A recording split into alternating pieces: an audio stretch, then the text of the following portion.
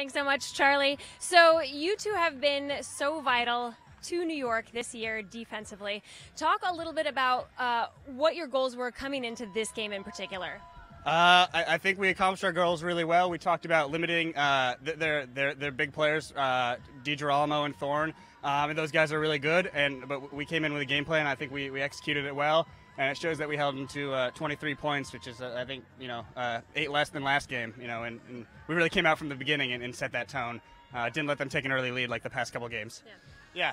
yeah, it was just to pressure them. You know, just pressure them a lot more. Like we just let off a lot of easy throws, let them we you know we chased them. We let them dictate what they were doing last game, and we chased them around the field. And this time we, we were aggressive. We said, you know, this is where you're going to throw it, and we're going to be there to pressure you. And and what do you guys do personally to prepare yourself for these kind of defense defensive efforts? What are you thinking about? What are you considering when you're on the field?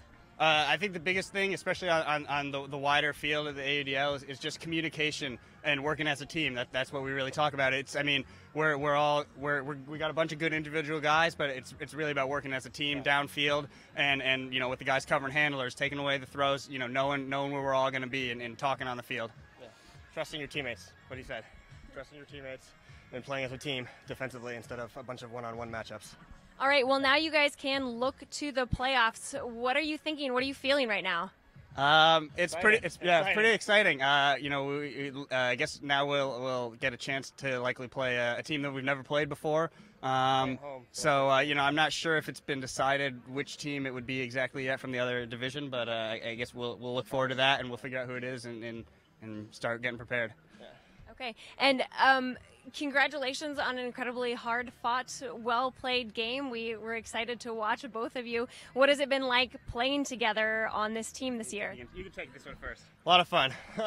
Just a lot of fun. You know, we played last year uh, on club together, but we didn't really play. We played one. He, I played O line. He played D line. So it's been a lot of fun playing together. The throw at the end was a lot of fun. I really picked him up because he had a terrible throw. I trust him a lot.